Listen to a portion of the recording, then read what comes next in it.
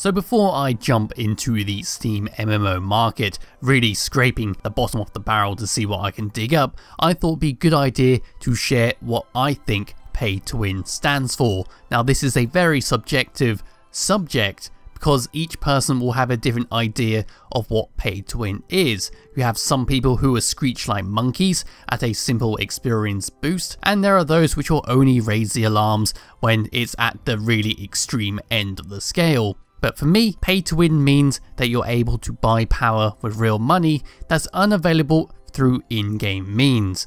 Now what do I mean by this? Let's take Allods Online for a minute. This game is notoriously pay to win. Why? Because nearly everything in the cash shop will give you some form of advantage over the non-paying customer. But most importantly, we're going to focus on the runes. Now runes are an item that are crafted through the cash shop with a material called crystal chip. These crystal chips you can then create a rune which will give you increased power. These runes can be combined up and up and up until the maximum level of 13.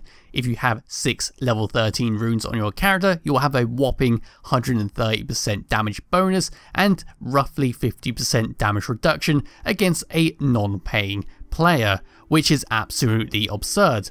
Yes, there is a currency exchange in game, there is simply not enough time in this lifetime to grind that amount of money up to exchange it to make those kinds of runes, so therefore that for me is pay to win. However, in Black Desert Online, if we take the Artisan Memories for a second, for me, I consider that type of item a convenience item. Why? Because you can still do what it does in game. So the Artisan Memory, if you don't know what it is, it causes you to restore 4 points of durability per memory fragment instead of simply one. When you upgrade your gear and it fails, you lose durability, so you need to repair it but this item simply speeds up by 4 times. It doesn't mean that you can't do it in game because you can very easily obtain these memory fragments through doing in-game activities and you can usually buy them off the marketplace quite often. So I consider that a convenience type item. So as for that, that's basically my opinions on it. As long as you can't buy power, which is unavailable through in-game means, then I generally don't consider it pay to win. I'm sure other people will have their own opinions on what pay to win stands for, which is fair enough because there is no real definitive definition of what pay to win stands for. So that's it for this quick video.